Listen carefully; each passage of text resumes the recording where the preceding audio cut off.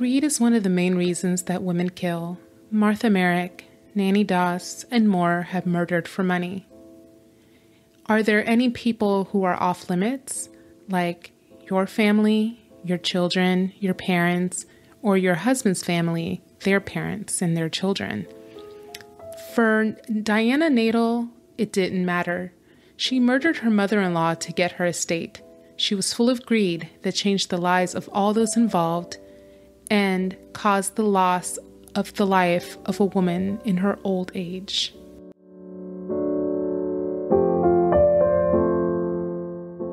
Eighty-year-old Peggy Nadell was a millionaire living in New York's Valley Cottage. She was a Democratic activist as well as a prominent member of the Jewish community. She had two children, Suzanne Nadell Scatio and James Nadell. James lived in Florida with his wife, Diana Nadell. The two of them were constantly asking Peggy for money. During an interview, Peggy's friend Darcy Greenberg said that Peggy was tired of sending her son and daughter in law money. She was not happy that they expected her to fund their lifestyle.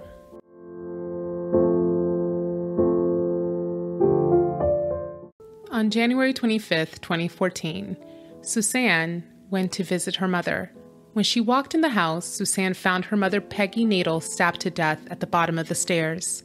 Suzanne said, I walked in and I found her, and the first thing I noticed was that she was bashed in the head. There was blood coming out of her eyes and her nose and the side of her mouth.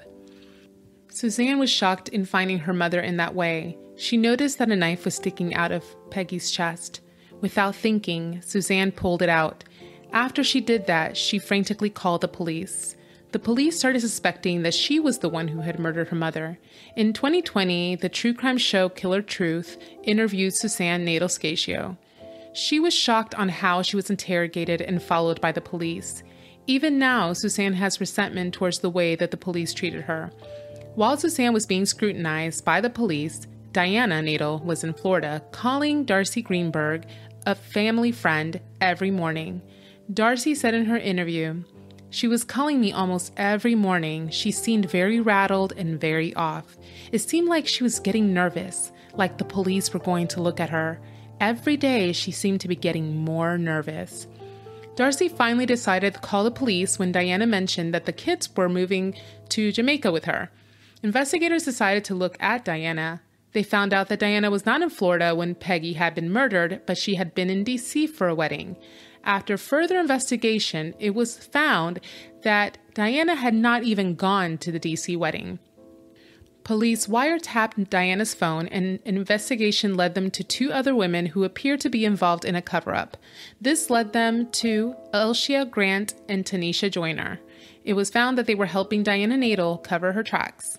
The police then found out about a third woman.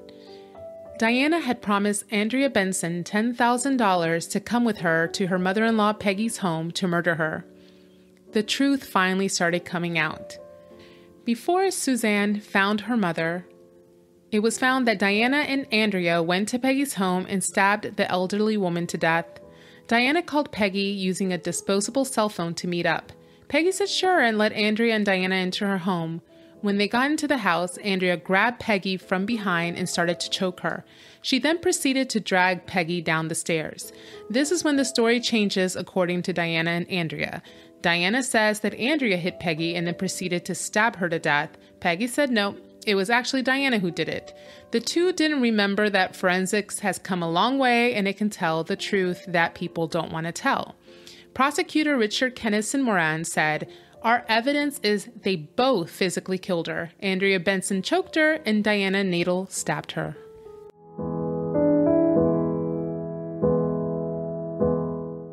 Diana Nadell was arrested and charged with a contract murder. Her husband, Peggy's son James, was not charged. Even with her admitting she wanted to kill his mother, and she did, for her estate, James is still supporting his wife. Diana was sentenced to 23 years in prison. Suzanne read a victim impact statement, which she said, You had the audacity to come back to New York and pretend to mourn after brutally strangling, bludgeoning, and stabbing my mother to death and leaving me with an image that will stay with me forever. Andrea Benson was sentenced to 20 years in prison. Diana was also attempting to murder two key witnesses for the prosecution in a jailhouse plot. These were two people who were not Elshia Grant and Tanisha Joyner, who helped her cover up her tracks after the murder. In regards to them, they got time served and only served a month in prison.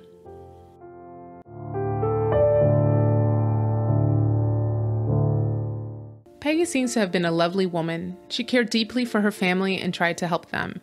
Her son James is a psychologist, and it seems Diana was a stay at home mother. Why did they need Peggy to keep bailing them out? I couldn't find any information on this, so if, if anyone knows, please reach out. I have suspicions that James was probably involved. It seems they had money issues. He supported his wife even after finding out she murdered his mother, and now he doesn't talk to his sister. I hope that he didn't get anything from his mother's estate, but he probably did. Diana should have gotten a job and worked hard, but as it is with many people, she wanted it fast and easy.